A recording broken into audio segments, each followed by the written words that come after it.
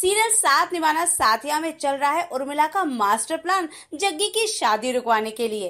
जी हाँ ये तो आप सभी जानते हैं कि उर्वशी और गोपी लगे हुए हैं जग्गी की शादी करवाने में। उर्वशी ने गोपी को सौंपा है जग्गी के लिए लड़की ढूँढने का काम।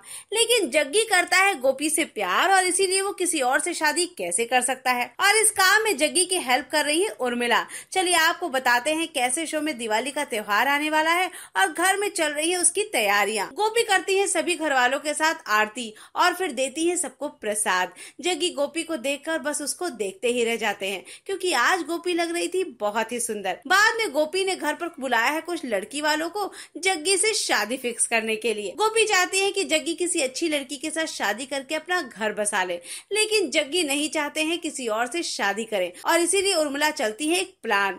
जब लड़की वाले आते हैं जग्गी से मिलने तो उर्मिला उनको बोलती है जग्गी के खिलाफ बहुत सारी बातें। वो बोलती है कि जग्गी पीता है और जुआ भी खेलता है। ये बातें सुनकर लड़की वाले वहाँ से चले जाते हैं। जग्गी ये सब देखकर बहुत खुश हो जाता है और वो फिर से लग जाता है गोपी को इम्प्रेस करने में। अब लगता है इस दिवाली जग्गी अपने दिल की बात गोपी तक पहुँचा ही देंगे। लेकिन क्या गोपी बहू जग्गी की इस प्रपोजल को एक्सेप्ट कर लेगी? आखिर क्या होगा जग्गी के प्यार का? ये सारी अपडेट्स जानने के लिए प्लीज़ सब्सक्राइबर्स सीरियल साथ निभाना साथिया में चल रहा है उर्मिला का मास्टर प्लान जग्गी की शादी रुकवाने के लिए। जी हाँ ये तो आप सभी जानते हैं कि उर्वशी और गोपी लगे हुए जग्गी की शादी करवाने में। उर्वशी ने गोपी को सौंपा है जग्गी के लिए लड़की ढूँढने का काम।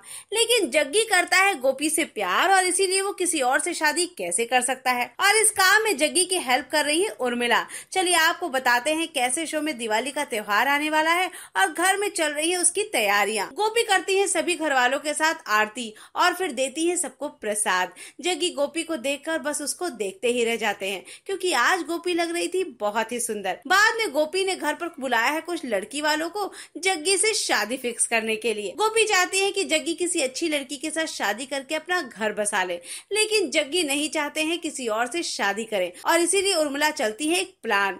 जब लड़की वाले आते हैं जग्गी से मिलने तो उर्मिला उनको बोलती है जग्गी के खिलाफ बहुत सारी बातें। वो बोलती है कि जग्गी पीता है और जुआ भी खेलता है। ये बातें सुनकर लड़की वाले वहाँ से चले जाते हैं। जग्गी ये सब देखकर बहुत खुश हो जाता है, और वो फिर से लग जाता है गोपी को इम्प्रेस करने में। अब लगता है इस दिवाली जग्गी अपने दिल की बात गोपी तक पहुँचा ही देंगे। लेकिन क्या गोपी बहू जग्गी की इस प्रपोजल को एक्सेप्ट कर लेगी? आखिर क्या होगा जग्गी के प्यार का? ये सारी अपडेट्स जानने के लिए प्लीज़ सब्सक्राइबर्स